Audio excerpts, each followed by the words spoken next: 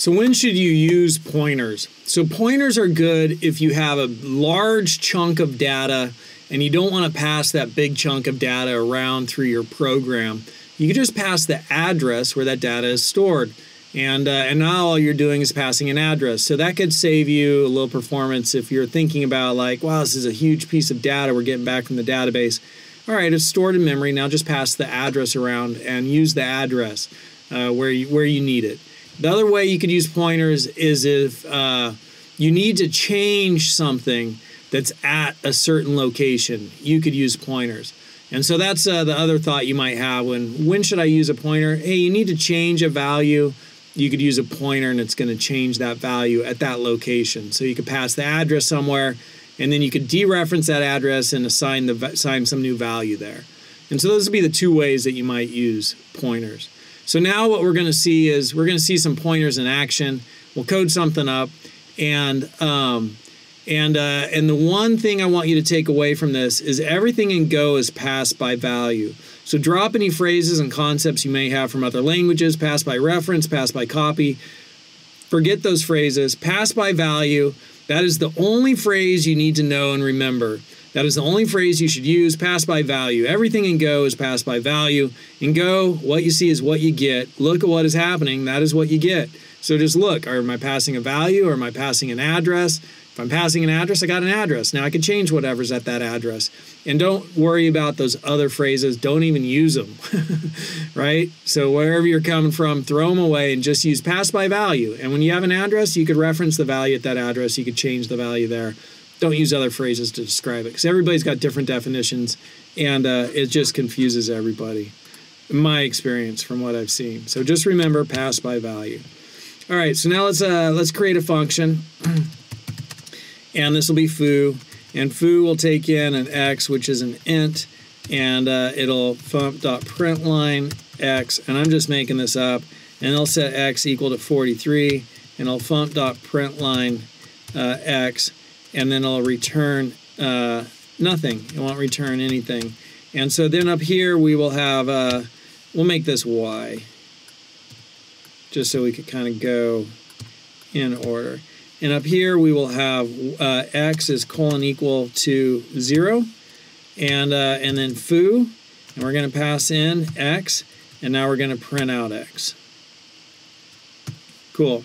So x is 0. We pass x into here. It gets assigned to y. What you see is what you get. we're passing in the value 0. It's an int. It's assigned to y. We print 0 out. We say y is equal to 43. We print y out.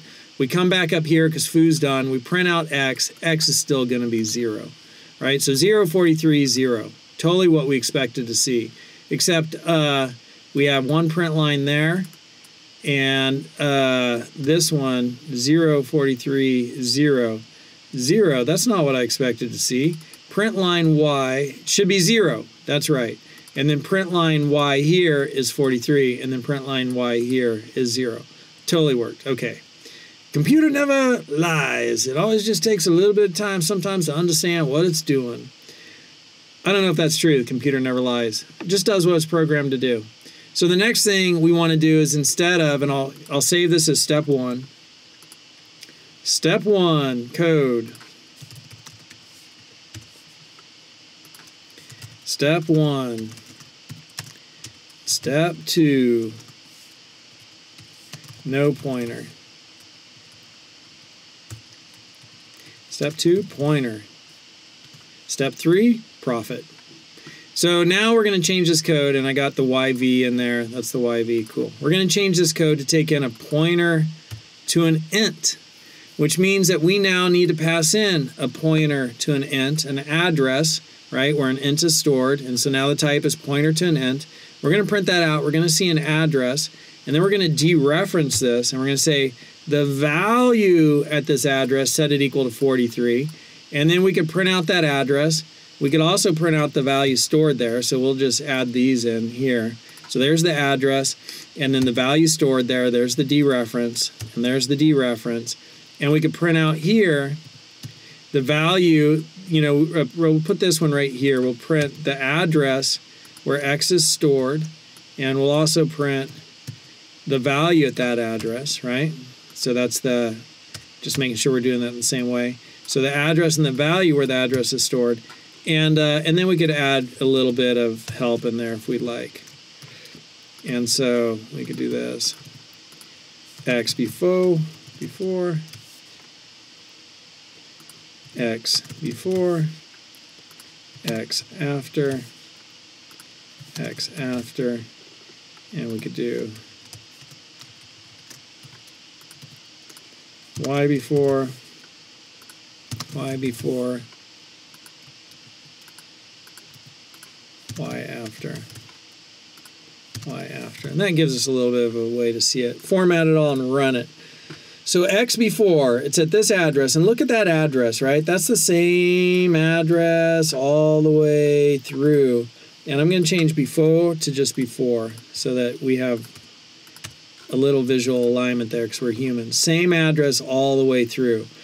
That's cool. So we have X is equal to zero. We pass in the address right here. The address is received right there. And so this is the X before and the Y right? Same address, same address, same value. Then we take the value at that address and we set it equal to 43. So the y after, same address, and now it has the value 43.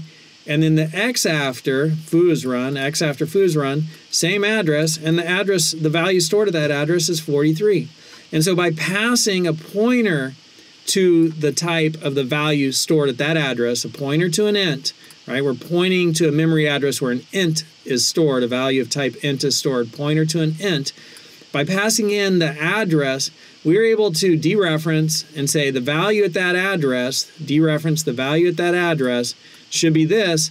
And now since x and y both are like dealing with the same post office box, one of them can change the value there, and that's what they both see. And so that's where like a pointer allows you to change, and you'll hear people talk about it as mutate, mutate the value. So can you mutate when you want a value to be mutated? Totally weird. Like programming, sometimes it's like, why didn't you just say change? right? But if you want to mutate, if you want it to be mutated, then use a pointer. It's like, what are you talking about? If you want to just change the value at the address, change it, use a pointer. but mutated is a word that you'll hear people talk about when they talk about pointers. And so, you know, this is all passed by value. Look and see what you're doing and what you got. I'm passing in an address. I've got an address. Then I could dereference it, you know, and get the value at that address and do something with it. It's all passed by value. Passed in the value of an address, right? Before in the previous one, I was passing in the value of an int right? The value here is a pointer to an int since it's an address. You always pass by value, whatever the value is. That's what's getting passed in. All right, so that's a good little example of uh, how a pointer to an int allows you to mutate a value stored at a memory address. allows you to, uh, you know, pass a value into a function, change the value at that address, and then everything that's looking at the value at that address sees the new value. Sees the new value. It makes sense, right? Um, so if uh, if that's a little bit foreign, code this one up yourself. Just kind of look at it and recode it and walk yourself through it as you do it and talk yourself through it. And then watch this video again. If you really want to learn this, make a video yourself teaching it. Upload it to Twitter and then tweet it and uh, tag me in it so I could see it. All right, good on you. That's uh, the next step in understanding pointers. Good on you. That's what the Australians say. I like that saying. Good on you. All right, there we go. When to use pointers.